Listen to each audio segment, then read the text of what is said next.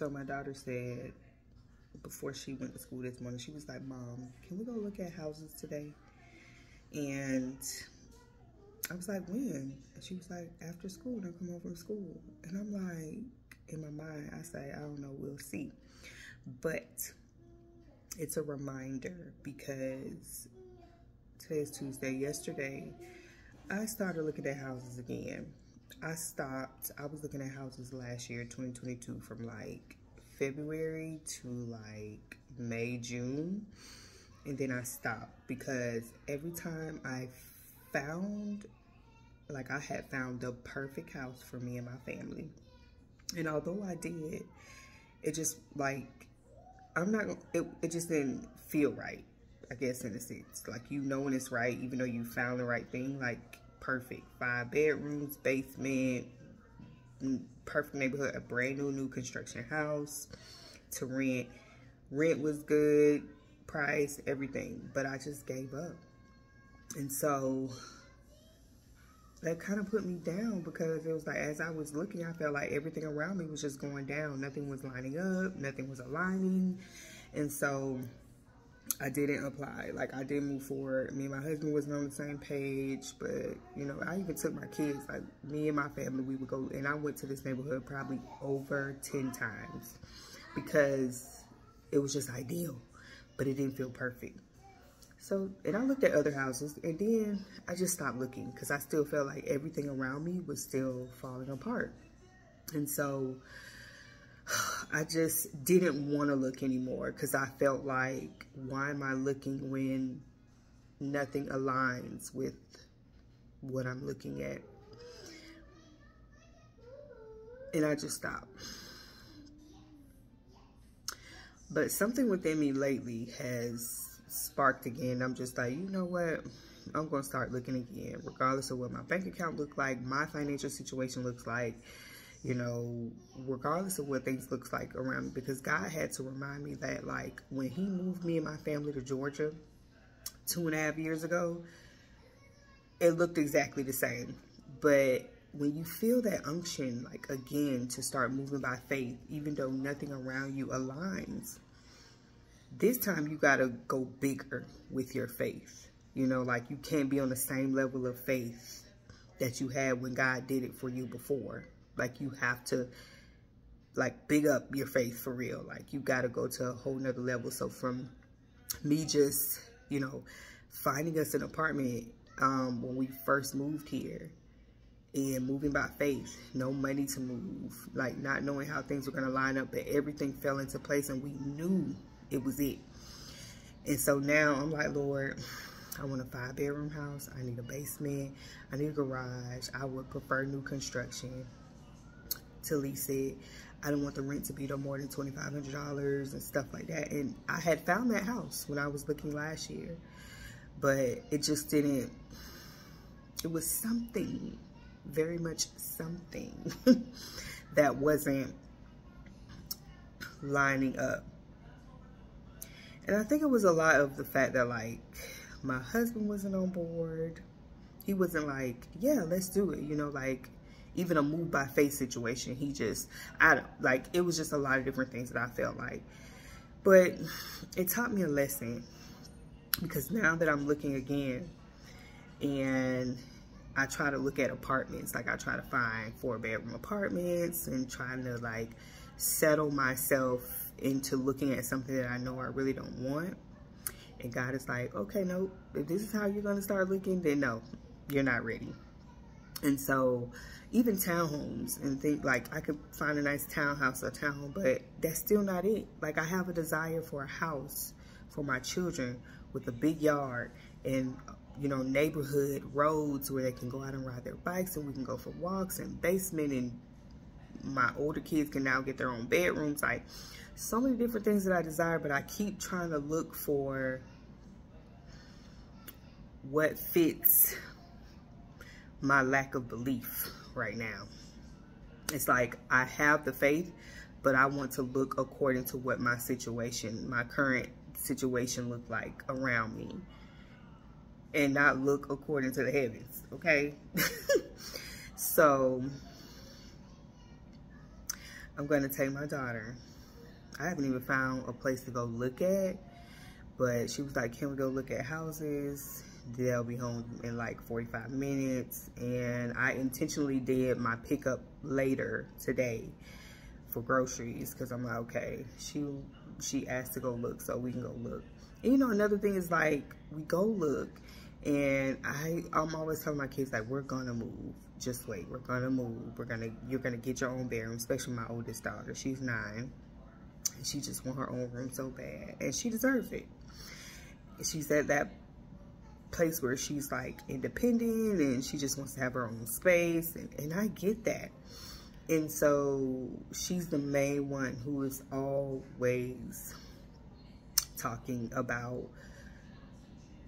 uh, let me put it like this god will always use her to remind me to like get back up because it's no coincidence that yesterday I was looking and I had a plan to go look at a home but when I looked at how far it was I was like oh my god that's an hour away from 30 one was 35 minutes and one was an hour away from where we live right now and I'm just like, oh God, I don't want to go that far.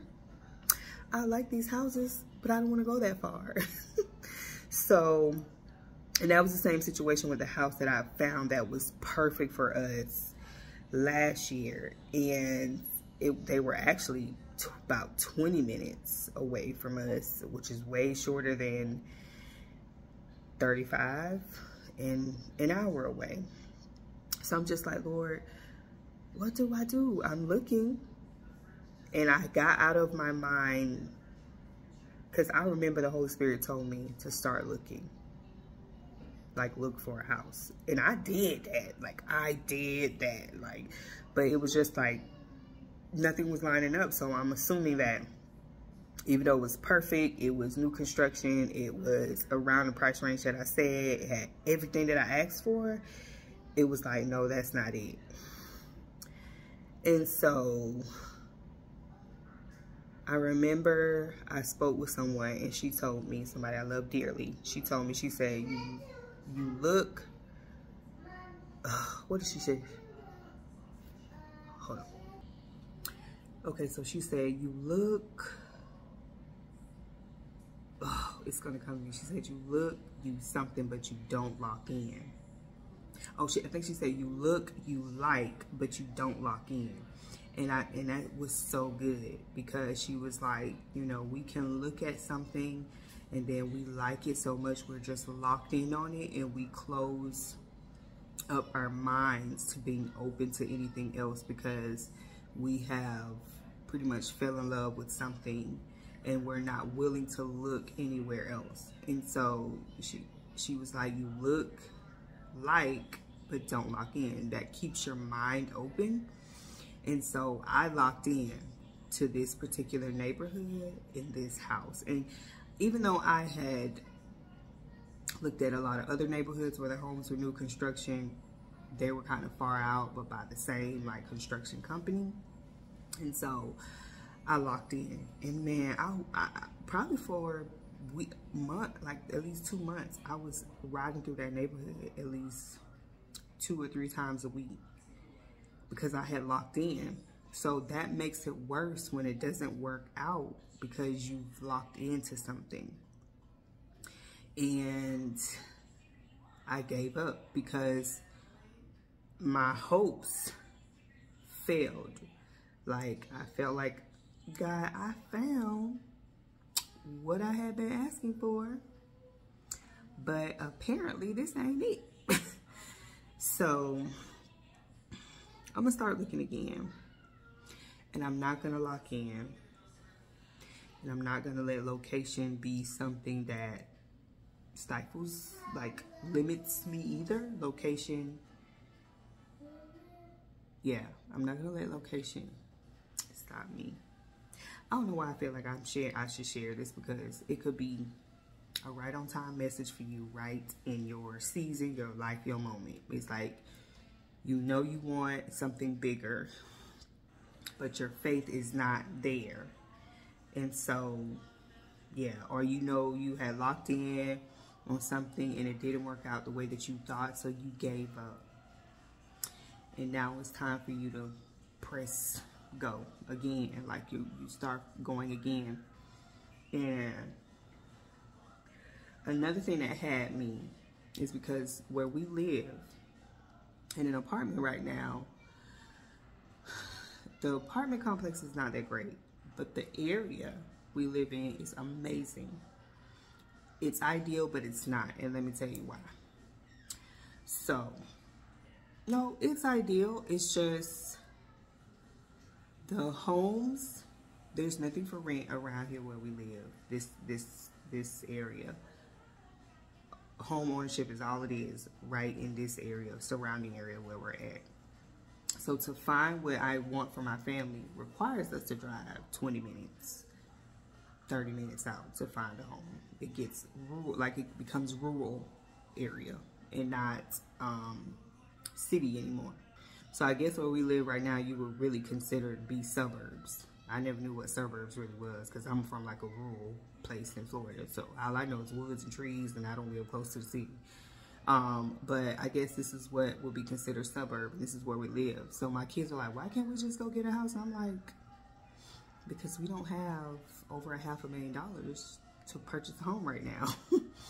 and plus I just feel like these, they're really cookie cutter neighborhoods with no yard and every house looks exactly the same. And that's not what I want either. I never like riding through a neighborhood where every single house looks the same. And you live in this deed restricted neighborhood where you can't do anything to your house. Not saying that I want to like paint my house pink, you know, but you can't do anything. I never wanted to live in a neighborhood like that either. Because I, I didn't grow up like that. I guess like if I'm paying over a half a million dollars for a house, it's like I want to be able to do what I want to do to my house. So I know that this is not where we're gonna live. And the part that sucks about it is that my kids got here and they uh, they thrived in school and relationships and friendships and you know my son is like in middle school and this is like a pivotal time for him with his relationships and friendships and sports and all of these things. It just feels ideal. And that's how you lock in. That's how I'm locking in. And I'm really, uh, it's a fight. And I'm praying to God every day, like, Lord, I don't want to limit myself because I'm locking into this area where we live. I'm locking into this area where we live because it's very convenient and I have so many reasons why I can stick to the convenience. You know, like we have one very stable vehicle and everything is right around the corner and right down the road and stuff like this. And I guess I'm like that too because where we lived in Florida, it was like if we wanted to even go to a Starbucks, we had like two Starbucks and we had to drive on either side of town. So it's gonna, it was gonna take me at least 15 to 20 minutes. I say 15-ish, between 15 and 20 minutes, depending on the traffic, to get to either one of these Starbucks. That was my place where me and my family was living right before we moved. But when where I grew up at, at least 20 minutes, 25 minutes to go to Starbucks. And it was either I'm going this way or that. Like, and now I could be at Starbucks in like less than five minutes where I live. And then I got like a Starbucks here and a Starbucks there and a Starbucks there. I got a Whole Foods. I got all types of situations, right? Hmm? So it's the locking in of the convenience. My three-year-old was like, let's go get in the car and buy some ice cream. we just supposed to up and go. But um, yeah, so locking into the convenience of where we live right now too is like limiting me as well. But I'm like, okay, we need the space. We came here to this three bedroom apartment, which is very nice, but the complex sucks, the management sucks. Some of the people out here that is not that great. And the space, you know, we came here and we had another baby which has tended to be a thing for us. We move, we have a baby. We move, we have a baby, but in Jesus' name, that's not happening no more. Um, maybe that's why God is getting this next one out the way right now. Thank you, Lord, for your will, your plan. Um, but I I love the area we're in, but it's dangerous to lock into something and put limits on yourself. You put limits on your faith. You put lim- It's like, Lord, I don't want to move from here. And it's like, in a sense, I get why people in my apartment complex has been here for 10 plus years. Like, people in my building, first of all, I had to say the devil is a liar because I wanted to make sure this is not a spiritual thing in this building, we did our building, because our neighbors have been here 10 plus years. And then we have neighbors that have moved out of this complex and now come back to this complex. Um, but our neighbors next door to us has been here like 12 years downstairs. They just moved because they were forced to move, but they have been here eight plus years. Down next to them, 13 years across from her, 13 plus years across, y'all, across 13 plus years, and then downstairs,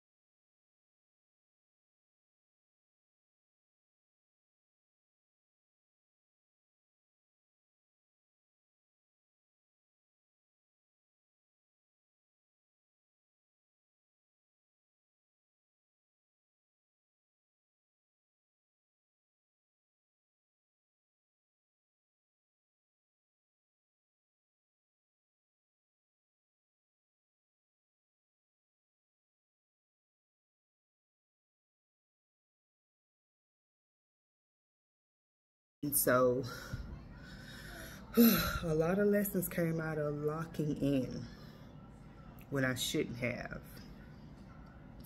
Because I just never know, I will never know what the opportunities are, what God has for me.